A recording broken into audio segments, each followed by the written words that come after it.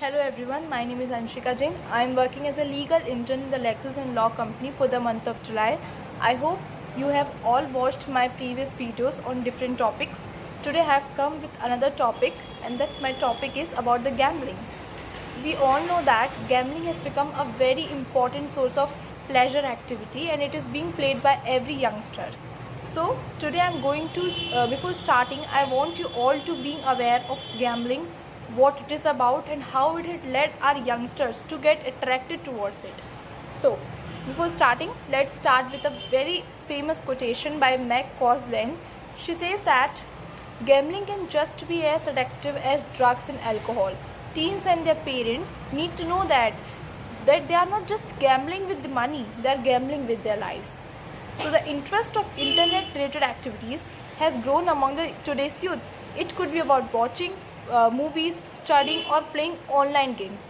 As a result of the ongoing pandemic, every young generation is being forced to move to online platforms. This has attracted the attentions of young people in online gaming like casino, online pokers, and even playing the online betting games in the famous Indian Premier League cricket zone. So online games has gained prominence in India in recent years, particularly during the 2020 and 2021. The promotion of such online games which feature the online gambling has also been aided by the advertisement. So what is online gaming exactly? So the term gambling refers to placing a bet or participating in an event having an uncertain conclusion in the hopes of gaining money. It consists of three basic components that include consideration, risk and price. So this topic I would like to explain more in detail through gambling related legislation that we follow in our India. So gambling and betting are subjects that are governed by the state. As a result, it is up to them to decide whether to restrict online gambling or not. Every state have their own set of rules on this subject. However, according to the Indian constitution, all kinds of gambling are illegal for domestic players under the Public Gambling Act 1867 although only four states and UTs that is Goa, Sikkim, Nagaland and Daman they have made it legalized only for entertaining tourists still local people are prohibited. Despite of all the provisions there are still a lot of authentication issues because nothing is being clearly mentioned and specified. So people take it for granted and they frequently become more involved in online betting games where some play for leisures and other play to earn money.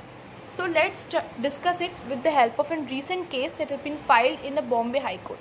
We all know that during these unprecedented times, we are playing some of the famous board games with our family for pleasures and one of them uh, game is Ludo.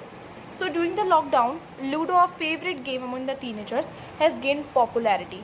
Keshav Mule, who is of the Maharashtra Nav Nirman Sena, he has recently filed a case in Bombay High Court challenging the popular board game Ludo. He demanded that this game to be referred as a game of chance rather than a game of skill. This case has also sparked outrage on social media. The case is currently under consideration. So the crux of this case is that it is based on two terms. Game of skill, which refers to the player's talent and expertise in playing the game, and other is the game of chance, which is entirely dependent on the player's luck. So the petitioner claims that the Ludo is dependent on game of chance and if the game is played for profit, the Maharashtra Prevention of Gambling Act 1887 would be applicable. Now let's understand India's online gambling industry. In today's society, online gambling has become a very profitable sector. According to certain well-known financiers or different tycoons, it has the potential to create a significant quantity of income for the economy. These skill-based games have a market worth of over a billion dollars and are expanding at a rate of 30% each year.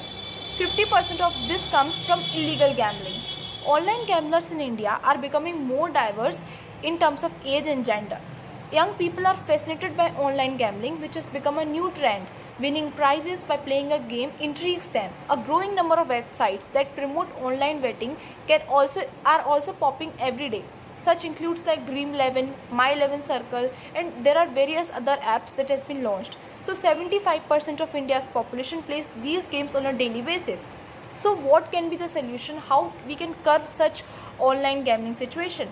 So playing games and winning money always appeals to people, but it quickly becomes an addiction, simply like to other of illegal activities.